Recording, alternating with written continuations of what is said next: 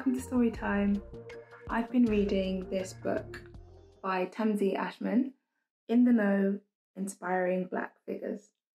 I've found it really inspiring, and there's lots of people in here from history and present day who have just overcome some incredible things and are really inspiring me. So I wanted to share a little bit of it with you.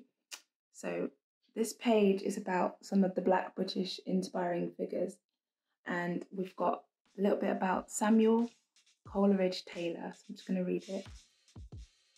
Black people have been influential in every category of music, such as rap, hip hop, and even classical music, which has been traditionally associated as a white genre of music. However, there has been a lack of recognised black composers in history.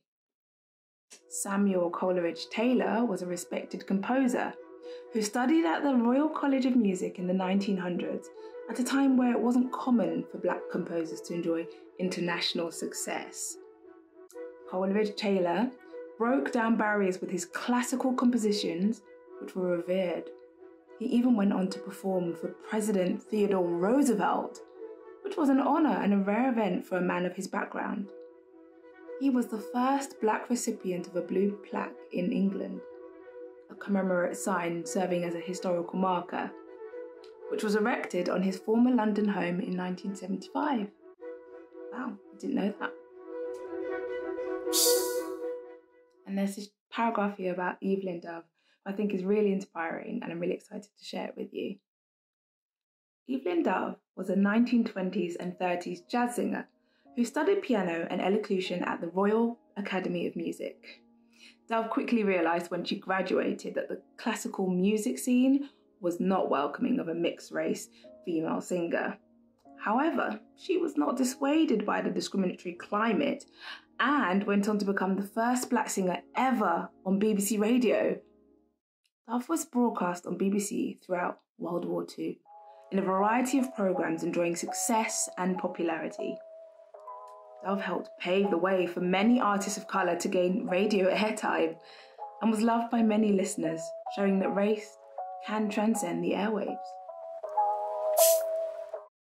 And the last bit I wanted to share with you was about Margaret Busby, just on the next page.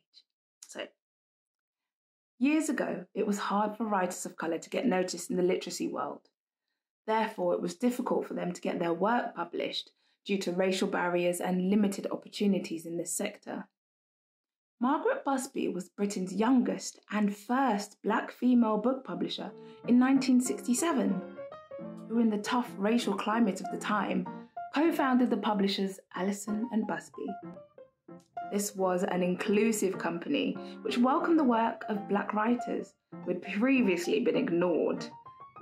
Though A&B did not exclusively publish black authors, it was nevertheless a major catalyst for bringing black literature to the mainstream. Busby continues to support and encourage young writers today, impressed by their enthusiasm and energy. She has written several plays and is a frequent contributor to The Guardian, The Sunday Times, and the independent newspapers. Wow. I mean, there's a lot to be learned from this book, and I certainly am looking forward to diving through a little bit more of it. Hope you enjoyed that little bit. See you soon.